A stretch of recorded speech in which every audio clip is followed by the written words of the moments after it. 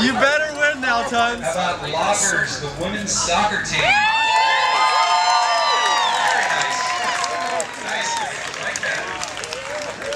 This is actually um, Chico Palio. It's the kickoff for Artoberfest. It's the sixth year for Palio and the seventh year for Artoberfest. And it was actually started as a concept by the Chico Arts Commission,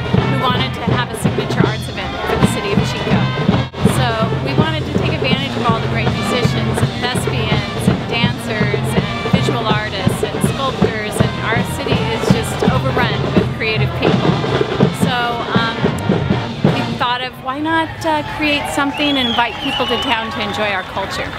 But then we decided we need a kickoff event, and that's how Chico Palio was born. Three, two, one.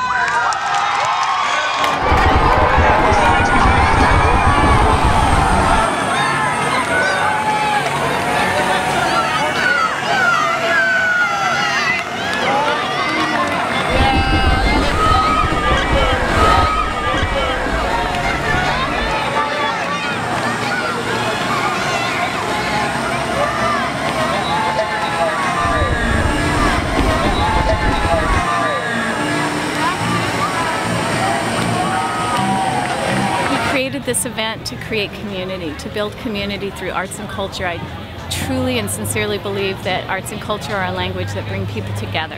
And if we practice that more, we would be together more and not be so opposed to one another.